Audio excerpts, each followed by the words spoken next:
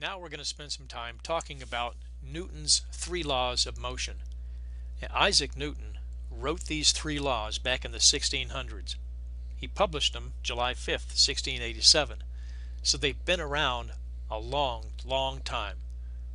This is old stuff.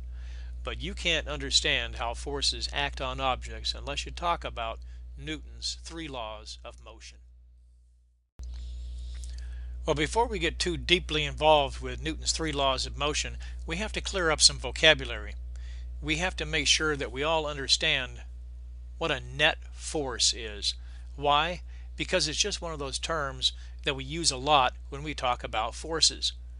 And a net force has to do with the actual force that's acting on an object. Well, forces have a direction a force being a push or a pull, that obviously means that a force has a direction. So that makes forces vectors. Remember that a vector has two things. It has a quantity or a magnitude. It also has a direction. So an example of a force might be something like positive 3 newtons. You see it has a quantity or magnitude, an amount, and the sign that you see right here actually tells you the direction of the force. How does that work? Well, it goes back to that coordinate system. And you remember that coordinate system has two axes. It has a y-axis and it has an x-axis. And we remember, of course, that the center right here is referred to as the origin. And if we can imagine a push or a pull a force acting on that origin, pushing on that origin, we can look at that as pushing on that origin in four different directions. One direction would be to the right along this x-axis. And since the numbers here on this part of the axis are all positive, any force that acts to the right is said to be a positive acting force. Positive simply says that the force is acting to the right. A force that's acting to the left would obviously be negative. So if we talk about a negative force, we're talking about a force that's acting to the left, as long as we're talking about the x-axis. If we're talking about the y-axis, then a positively acting force would be one that acts upward. And a negative force would be one that acts downward. So, if we're talking in terms of a force acting along the horizontal plane, which is the x-axis, it can be negative acting left, or positive acting to the right. If we talk about a force acting in the vertical plane, up or down, then we can talk about that force being negative, acting downward, or positive, acting upward. So, back down here, positive 3 newtons would be a 3 newton force pushing or pulling to the right. A negative 3 newton force would be a 3 Newton force pushing or pulling to the left, as long as we're talking about that horizontal plane, which we're going to talk about right now. Let's take this idea and use it to help us analyze how forces act on real life objects. We'll take a look first of all at, in this case, a wagon. The wagon has a mass of 10 kilograms and you'll notice that there are two forces acting on this wagon and they're both acting in opposite directions. The forces are represented by arrows. You can always represent a force by an arrow. The direction the arrow is pointing shows the direction of the push or the pull, the direction of the force. So this particular arrow shows a force acting in a direction of right. So this represents actually a positive force. And this arrow over here, since it's acting to the left, it's pointing to the left, it represents a negative force. Now we can give these forces values, and since the arrows are both the same size, I'm going to go ahead and give these forces the same value. And the first value I'm going to give over here is 10 newtons. And of course this is a positive 10 newtons, which means that it's a force of 10 newtons acting in the direction of the right. Over here we have a force of 10 newtons acting to the left. Now since these forces are equal in magnitude, in other words they're the same size, but they're acting in opposite directions, they're going to cancel each other out. And we can look at that mathematically. It's actually pretty simple to do. It's just an addition problem. We have positive 10 newtons plus negative 10 newtons and that equals 0 newtons. Remembering of course that a newton is the unit that's used to measure force.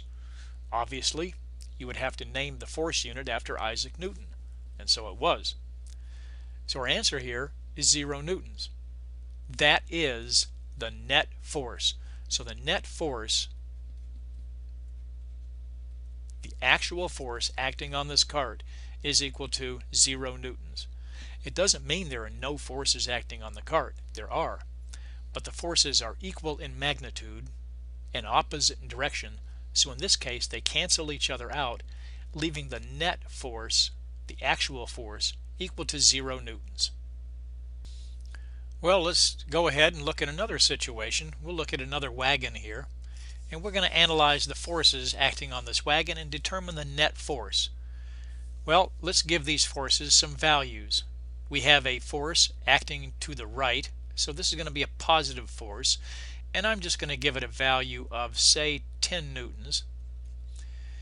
And over here on the right, we have a force that's acting to the left, so this is going to be a negative force and the arrow looks to be about twice the size of the arrow over on the other side so I'm going to give this a value of let's say 20 newtons.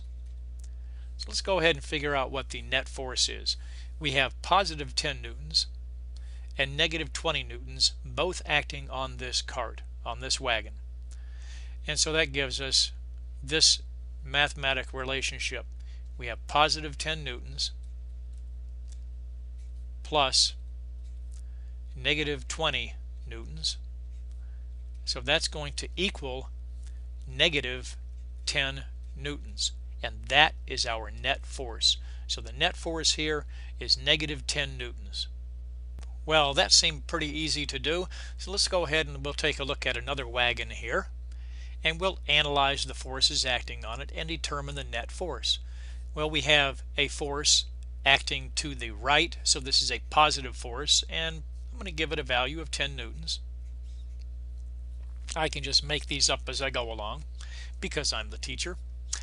And let's see, we have 10 newtons acting to the right, positive 10 newtons, and it looks like there's no arrow over here, so we're assuming that there's no force. So this force is 0 newtons. So in this situation, we can set this problem up. We have positive 10 newtons plus 0 newtons and that's going to give us a net force of positive 10 newtons in this situation. So keep this in mind. The net force is the sum of the forces acting on the object. Here we added, that's a sum, positive 10 newtons and 0 newtons, and we got net force of positive 10 newtons. In the second cart up here, remember in this problem, we found the sum of the forces acting on the cart. We had positive 10 newtons plus negative 20 newtons, and that gave us negative 10 newtons. So, net force is the sum of the forces acting on the object. Well, we can go ahead now. We can look at, a, at another situation. Here's one more cart. We have two forces acting on this cart. It looks to be maybe, I'll give this a value of positive 30 newtons. And this one, because it's the same size arrow, I'm going to give it 30 newtons. And of course, it's in the same direction. So this is also positive 30 newtons. So when we set this problem up, we have positive 30 newtons plus positive 30 newtons. And we find the sum of that and it gives us positive 60 newtons and that is our net force positive 60 newtons in other words the sum of the forces acting on this cart is 60 newtons to the right go back through the problems, make sure you understand what net force is, and then we'll take a look at a couple of practice problems, maybe a little quiz.